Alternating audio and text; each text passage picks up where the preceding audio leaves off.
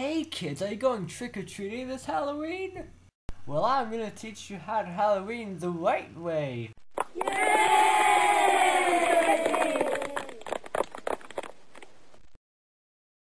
The first thing you need to do is find a costume. Make sure it's scary. And don't dress up like Slenderman, you stupid idiots. Moving on. Now that you have your costume ready, it's time to go trick-or-treating. But first, you need to get a bag to put your candy in. Any bag will do, except if it's a bag with Slenderman on it, you stupid idiot kids that I hope die soon so that I can go and laugh at the funeral. Moving on. Now let's go and get some candy, eh? You're not dressed up like Slenderman, are you? Good! Now just ring the doorbell and get candy. Trick or treat. Oh, yes, it's inside. Why don't you come in? Now remember kids, always go inside a stranger's house when they ask you to go in, and be nice.